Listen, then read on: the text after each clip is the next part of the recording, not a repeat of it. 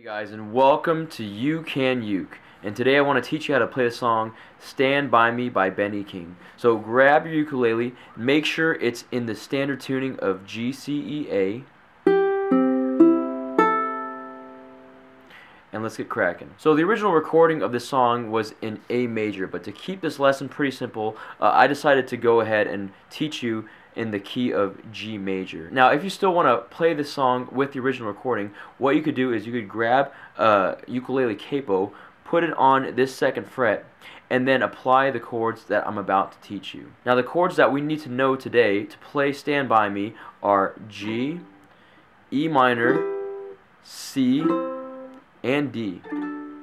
If you already know these chords, then that's awesome. Feel free to skip ahead to the later portion of this video. And if you don't know these chords, then it's no worries because I'm about to show you right now. The first chord that we're going to learn to play is G. And to do that, you're going to take your first finger, put it on the second fret of the third string.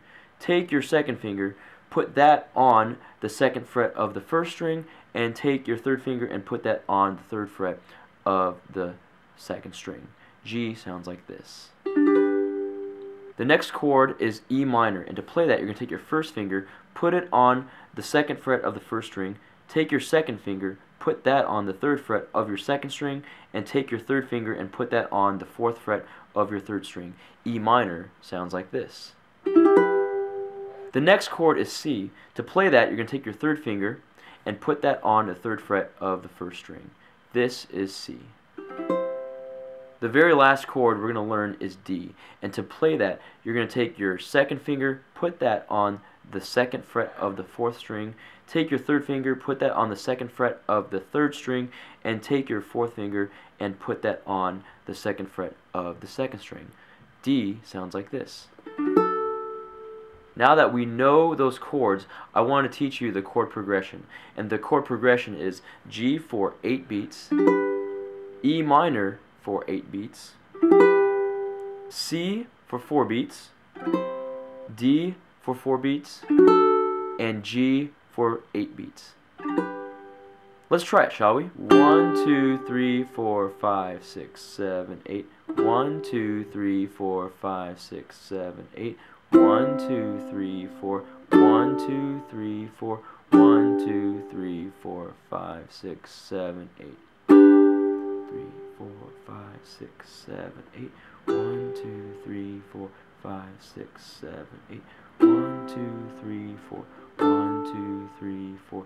One, two, three, four, five, six, seven, eight.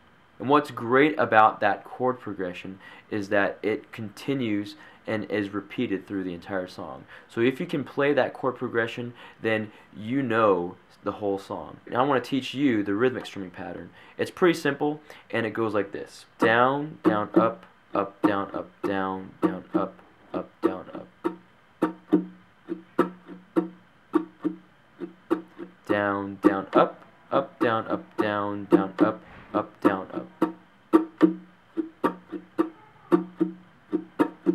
Let's try and take the rhythmic strumming pattern and apply it to the chords. Down, down, up, up, down, up, down, down, up, up, down, up, down, down, up, up, down, up, down, down, up, up, down, up, down, down, up, up, down, up, down, down, up, up, down, up, down, down, up, up, down, up, down, down, up, up, down, up.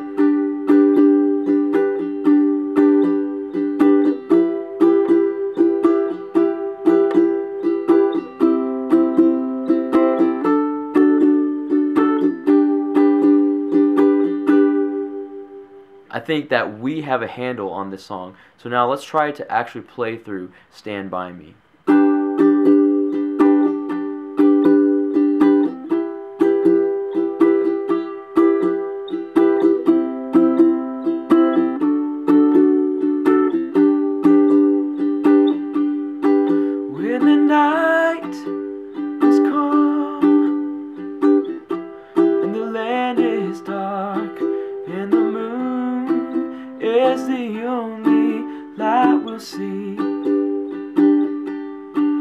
No, I won't be afraid. No, I won't be afraid.